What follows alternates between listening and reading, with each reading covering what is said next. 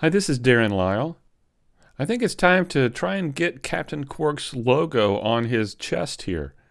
If I select the character and tab into edit mode and select all the polygons, we can see the UV map here. Now it looks to me like this is the UV map of the tunic. And what I'd like to do is just make sure which is the front and which is the back of the character. So I'm going to scroll over here and turn this little guy right here. I'm going to turn that on. And if I select a face now on the character, I can see that selected there. So now I know that this is the front of the character.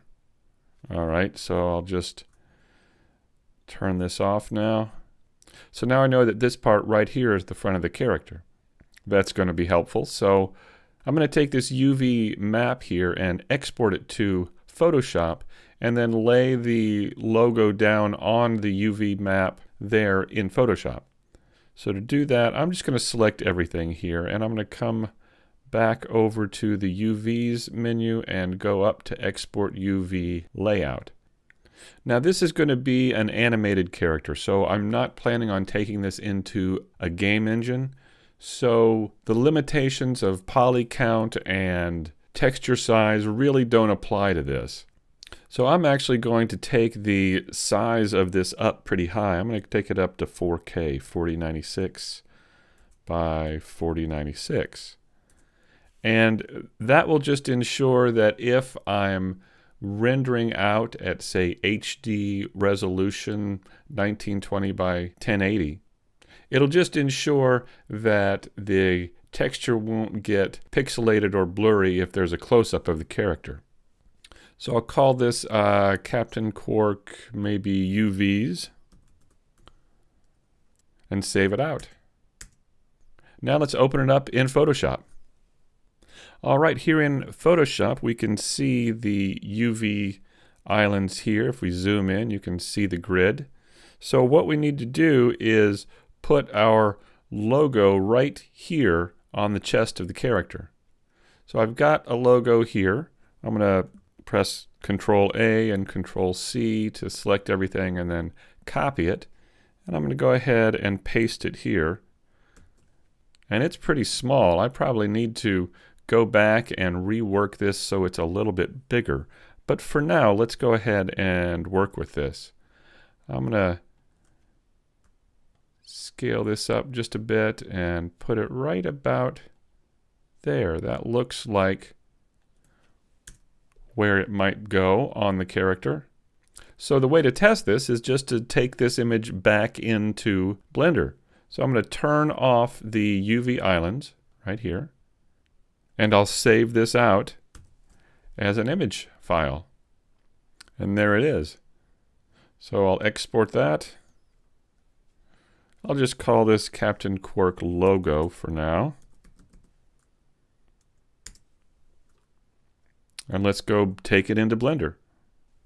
So here in Blender, we need to bring this into the material with the green, right? We need to put it over the green material.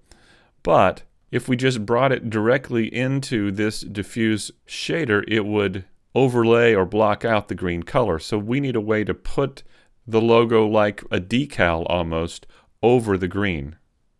So I'm going to press Control up arrow over the node editor and let's take a look at this. What I want to do is bring in another diffuse shader to mix with this one. So this is already mixing here. What I'm going to want is another diffuse shader, so right here. And I want to mix that here, so I'll bring in another mix shader right there. And then I want to bring in that image texture. So I'll press Shift A and bring in a texture image node right here. And what's going to happen is we're going to want to bring this into the color right here. So we're going to bring the logo into this color diffuse node. And then we're going to take the alpha channel and bring it over here to the factor of the mix node.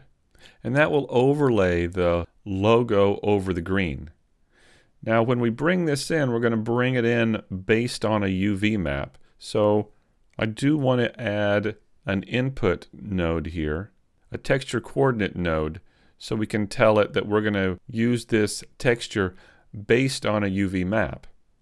But in addition, I think what I'd like to do is bring in a mapping node as well. And what that will do is that'll allow us to have control over um, things like scale and rotation of our image. So I'm going to bring the UV socket into the vector and the vector into the vector here of the image, like that. Now I want to bring in that image of our logo. Here it is. And there we go. So now let's hit Control Up arrow. And there it is. You can see that we've got the Captain Qwark logo already on, already on the character. I'm going to turn this on here, the rendered viewport shading. And there we go. There we can see it in the render. Now we may need to move it a bit and we can always do that by coming back to Photoshop and moving this back and forth a little bit. We can turn on the grid here and move it up or down as we need it. And we can also come over here and if we and if we come back to Blender and select everything, we should be able to see it in our UV map here. So if I come in here and choose that image from this menu here, so I'll choose the Qwark logo there. Now we should be able to see it right in our UV map. There it is. And we can get a sense of where it is and where it should go here within this UV island by looking at it here. Now we could adjust this UV island to to move the logo around, but I don't know that I'd recommend that here. I think once you get your UV map in place, you really need to keep it that way. You need to lock it. Because once you begin moving UV islands around, it can raise other issues on down the road.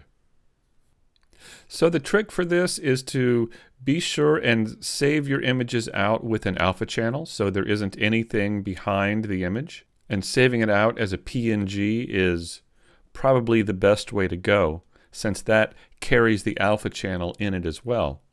And then when you bring it into Blender, you can use that alpha channel here in the node editor right here. This is what's allowing the color of this diffuse channel to show through. So using this alpha in conjunction with another diffuse node is what allows it to be a decal and overlay the base color. So this is the process that we'll also use as we create the textures for the eyes. We'll find a nice image of a pupil and we'll lay that image down onto the UV map of the eye as well. Well, in the next video, let's look at creating some subsurface scattering for the skin texture or for the skin material of Captain Qwark. So thanks for watching, and I'll see you soon. Take care. Blender fans assemble. It's time to create Captain America's motorcycle using hard surface modeling techniques in Blender. In this online course, you'll learn the tools and processes of modeling a complex, realistic vehicle. We'll use reference images taken of the motorcycle from the first Captain America movie on display at the Harley Davidson Museum. We'll build the bike up from the frame, assembling each piece using different Blender tools along the way and we'll even go over setting up materials and lighting for a final render. This course is available at blender101.com, where you'll also get my Blender Scene Creation course, the course that takes you through the entire process of creating an animated scene in Blender from the first polygon to the final rendered movie. And if you're just starting out with Blender, you'll also get the course Blender 101 Introduction to 3D Modeling, an in depth course that covers the fundamentals of modeling in Blender. And at Blender101.com, you get new courses and projects every month. So join me as we create Captain America's motorcycle at Blender101.com. It's Blender for everyone.